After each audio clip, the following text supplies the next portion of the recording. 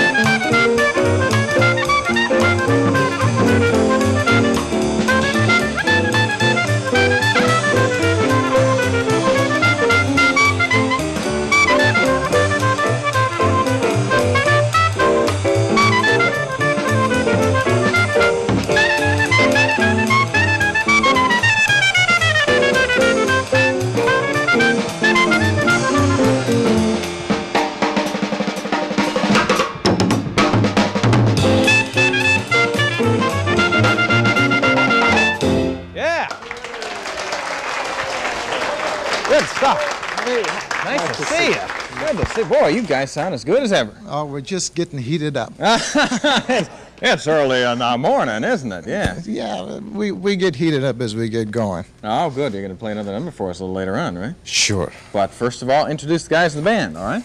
Well, the musical director is none other than Jimmy Boyd on the piano, Jimmy, good to have you here. Ed Washington on the drums, and Al Russ on the bass. Ah, good. They're terrific. Let's give those guys a hand, all right?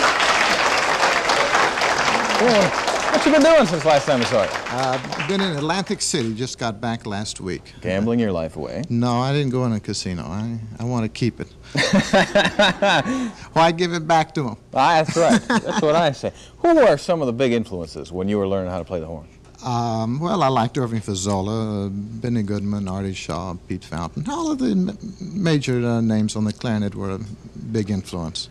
And uh, they were very fine, all of them were fine musicians. And uh, I just tried to follow along in those tracks. You do a nice job, I'll tell you that. Where can we hear you here in Cleveland? The theatrical, downtown Cleveland, How long can you going to be there? till the 20th of this month. Boy, that's good music, and you can hear it right there. And would you leave us with one more number? Yes, we would like to do something a little special. This is a song that Benny used to like to play. I think we know which Benny you're talking about. called Memories of You. All right, Rick and band who will be at the theatrical. All right.